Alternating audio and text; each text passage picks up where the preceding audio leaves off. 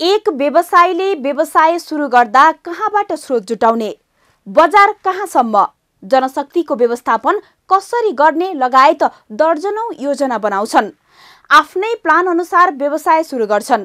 व्यवसायमा पुरै घोत्लिएपछि घर खर्चदेखि ऋणको किस्ता र ब्याज तिर्नेसम्म त्यहीँबाट व्यवस्थापन गर्नुपर्छ। तर लाखौं लगानीमा सुरु गरिएको व्यवसायमा प्राकृतिक क्षति वा चोरी भएमा व्यवसायको हालत के हुन्छ?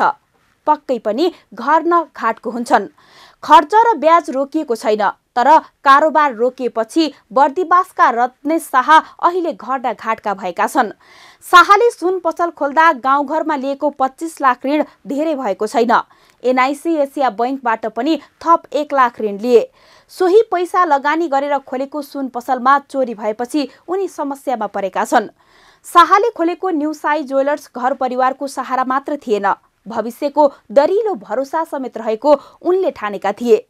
असार नौ गते राति चोरी भएपछि शाहको सपना चकनाचुर भयो। शाह पसलभित्र छिर्दा सुन राखेको टेजरी बाकस त्यहाँ थिएन। लाखौं रुपियाँमा अर्डर गरेर राखिएका गरगहनाहरू थिएनन्। चाँदी राखेको ठाउँमा थिएन। करिब पच्चिस तोला सुन चोरी भएको थियो। शाहले दिएको विवरण अनुसार प्रहरीले करिब सैतिस लाख छत्तिस हजार बराबरको चोरी भएको निष्कर्ष निकाल्यो।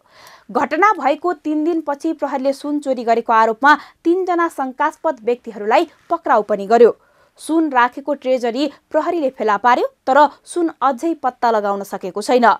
प्रहरीले असार पन्ध्र गते बाराको निजगढबाट चोरीमा संलग्न भएको आरोपमा रौतहट फतुवा विजयपुर नगरपालिका एघार बस्ने अर्जुन चौधरी र सोही ओडाका गाडी सञ्चालक सबिर देवानलाई पक्राउ गरेको थियो। उनीहरूले नै दिएको बयानका आधारमा सुन राख्ने भल्ट रौतहटको गुजरा नगरपालिका दुई अन्तर्गत चोचा जंगलमा जमिनमुनि गाडीको अवस्थामा बरामद भयो तर सुन फेला परेको छैन। जिल्ला प्रहरी कार्यालय महोत्तरीका सूचना अधिकारी दिलीप गिरीका अनुसार चोरीमा संलग्न अन्य तीनजना अझै फरार छन्। उनीहरूलाई पनि छिट्टै पक्राउ गरी हराएको सुन बरामद गर्ने जिल्ला प्रहरी कार्यालय महोत्तरीले जनाएको छ। सिसिटिभी फुटेजका आधारमा चोरीमा प्रयोग गरेको भारतीय नम्बर प्लेटको दुईवटा बोलेरोलाई पनि प्रहरीले नियन्त्रणमा लिएको छ। यता स्थानीय व्यवसायीले बर्दिवासमा श्रृङ्खलाबद्ध चोरी हुन थालेपछि स्थानीय सरकार र सुरक्षा निकायको जिम्मेवारीलाई लिएर प्रश्न उठाइरहेका छन्। उद्योग वाणिज्य संघको नेतृत्वमा व्यापारीले केही दिन अगाडि सुरक्षाको माग गर्दै प्रदर्शन नै गरेका थिए।